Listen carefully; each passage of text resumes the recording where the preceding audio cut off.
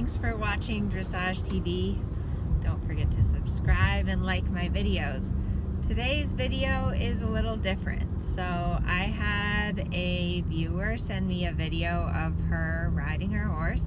And today we're gonna watch this video together and kind of go through some ideas of tools that we could use to improve these two.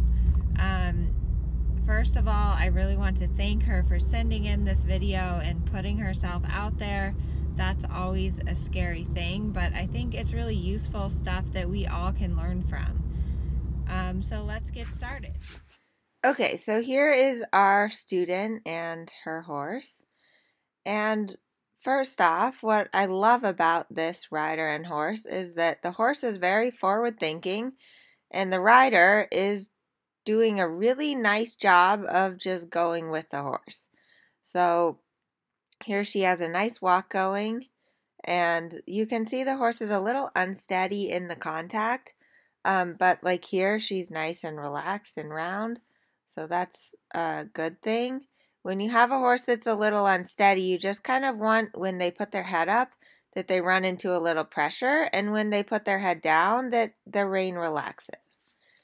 Okay, so now she picks up the trot and you can see this horse has lots of energy. So as a rider, we've got to come up with some strategies to be able to handle this energy. So, and you can also see that she's just a little bit counterflexed and not really looking around the circle like she should be. So I always like to start with thinking about the training pyramid, the dressage training pyramid. So at the bottom of that training pyramid, we have rhythm and relaxation. So definitely we need to first be thinking about the rhythm and the relaxation of this horse. She tends to get a little bit hurried and she doesn't seem horribly tense, but she's not as relaxed as she should be. So definitely like the rider's doing, keeping her on circles is a really great idea. A circle line helps to get her to bend. It makes her turn, and every time you turn and bend, it slows your horse down.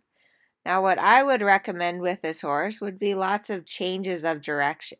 So rather than just simply staying going the same direction, I would be doing like a pretty tight serpentine where you're turning right and then you're turning left and then you're turning right and then you're turning left. And what that tight serpentine is going to do is it's going to help get your horse to bend and it's also going to help slow your horse down. Every time you turn on a tight turn, your horse is going to slow down. So here she does, she goes to the left. And then what you'll notice is immediately when she goes to the left, the horse relaxes his neck, excuse me, her neck a little lower and rounder. So you can tell that this horse is a little bit more comfortable going to the left than to the right. And again, that's why I would I would definitely use changing direction. Let's pause for a minute. Okay, so let's rewind and look at that when the horse broke into canter. And I'm putting this in slow motion so you guys can see. So this horse, you can tell, she's really forward thinking. And here, she makes a nice transition to canter, but the the rider doesn't want that. You can see she a little bit punishes her in the mouth. So what I would have done, instead of just pulling back on the reins, is I would have turned into a small circle the second that the horse broke into the canter. And that circle and that circle would automatically bring the horse back into trot. So lots of riders make this mistake where they just kind of panic and pull back on both reins and you can see the horse puts her head more up rather than if you had uh, just turned her onto a small circle and bent her, she would have trotted on her own and you wouldn't have gotten as much resistance. I always like to think of what you can do to get the horse doing what you want without too much resistance. Okay, so now we're back to the trot work. And again, the horse is forward thinking. You can see, like here, she drops her head nicely. So, as a rider, what I would be thinking on here would be just developing a little more bending. So, with my inside rein, in my inside leg and my inside rein, I would be asking her to look a little to the inside and dropping that neck down. And any time that she goes a little bit faster, I would turn into a smaller circle, and that immediately is going to help slow her down. This is looking better though here. You can see the rhythm and the relaxation are coming. And again there, when she broke to canter, I would turn immediately onto a small circle and be able to put my inside leg on and just teach her that I don't want the canter yet.